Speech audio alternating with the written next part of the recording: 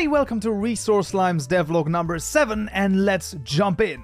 Of course, first of all, we continued to add functionality to the block entities, which includes some more block entity rendering, which just adds a really, really nice visual flair to everything, and I think it adds a lot. Talking about the visuals, I also added some temporary textures for the extracts because the missing textures were really annoying at this point. And now with most block entities working, I want to present the general idea of progression. So first of all, you go underground and you find the gems. For example, some citrine. You smelt the raw citrine into the uncut gems and then you cut them using the gem cutting station. With those cut gems, slime balls, and a resource, you can then make an item in the slime incubation station that lets you spawn a resource slime. After the slime is grown enough, you can harvest the slimy extract resource from the slime itself with a bucket. After that, you take the slimy resource, combine it with soapy water in the slime extract cleaning station to get normal extracts. These extracts can then be used to craft your resources.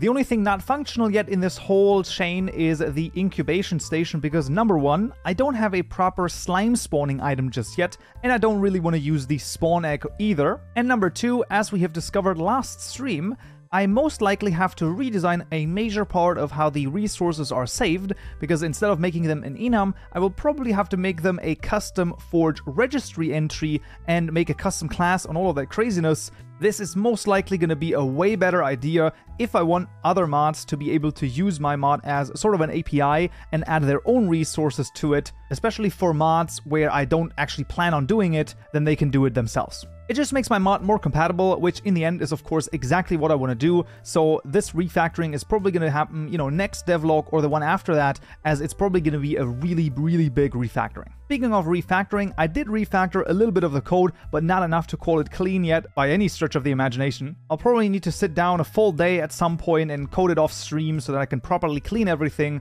In the meantime though, we're just going to add some other stuff. I also fixed the bug where the rotation of the block entity renderer didn't quite line up with the rotation of the block entity, and some hilarity ensued on stream when we tried to rotate the items. Okay, that's um kind of weird. Or did I just like wait? No. Eh, although like would that work? Yeah, okay. So I need to also rotate it around. If that works, I'm gonna I'm as confused as you. Why does it do it? Why why P? Is it does it have to be Z? Am I crazy over here? It was Z. So Z is definitely right. I, I am gonna I'm going insane. what did I why doesn't it work anymore, guys? What did I do? I reloaded, didn't I? Did I not reload? Did I do, did I press the wrong key? Please. No. No. What am I what is happening? Why? But I'm popping the pose stack over here. This should not eh, in, in influence this. Oh no. It can't be this. It can't be this. It can't be this. Why is it now wrong? What happened? But, but why? I, I'm doing everything the same way. I literally didn't change anything. What do you mean? But why the does it work now? This is the same code when it didn't work. What are you talking about? What? What? This is the same code that where it didn't work.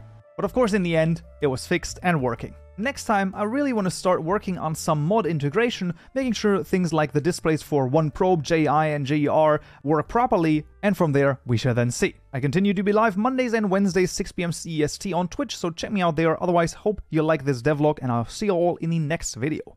So, yeah.